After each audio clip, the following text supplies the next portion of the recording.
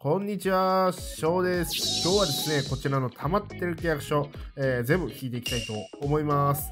えー10%契約書が、まあ、1枚あるんですけども、今日の目玉はね、これじゃなくて、S ランクの30%契約書、これがね、えー4枚あります。パースピーポイントクラブで3枚交換してきました。えーこのね、え今日は契約書たちを使って、阪神の奪ってない選手ですね。伊藤将司選手、アルカンタラ選手、梅野選手、そして大山選手、岩崎選手、この1、2、3、4、5人ですね、えーまだ埋まってない選手を引いていければなと思います。それでは行きます。えーそれではまずゴールド契約書からいきましょう。お願いします。さあ、できればこういうところでね、S ラン、おワンチャンあるね。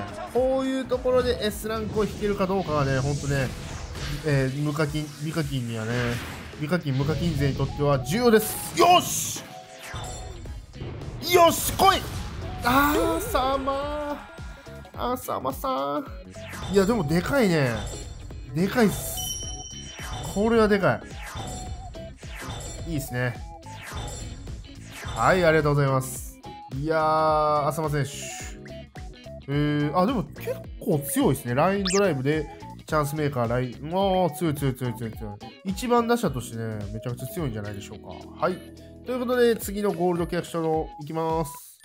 はい、お願いします。うーん、さすがに2連続で、おっと？さすがに2連続で S はないかな？おっと？割れるか？ああ、さすがに割れ。さすがに割れないか。まあでもこういうと、ああ、ロメロさん。こういうところからね、ワンチャンス、ワンチャンスの脳演出からのはない。はい、それではゴールド契約書残りが、はい、残り6枚ですね。これで S 来たら神よ。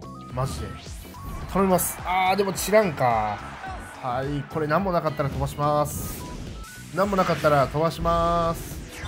はい、飛ばしました。はい、ということで最後で確率契約書まとめて5枚いきますよ。頼むから S1 枚でも出てくれ、本当に。前ね、前の、ほんと地獄のね、はえっ、と、何枚引いたの？6, な ?6 枚、7枚ぐらい30%契約書引いて、ゼロでしたからね、S。まあ、そういう時もあるでしょうけどね、おっと、知ってる。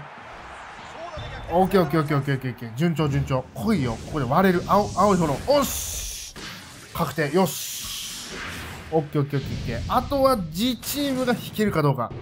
来いああゲッツ甲斐拓也選手、ありがとうございます。おー、びっくりした。2枚目。2枚目来い。2枚目うー、甲斐選手、今年いいピッチングしてますか？うっあー、国吉選手。それではラストいきましょう。お願いしますあ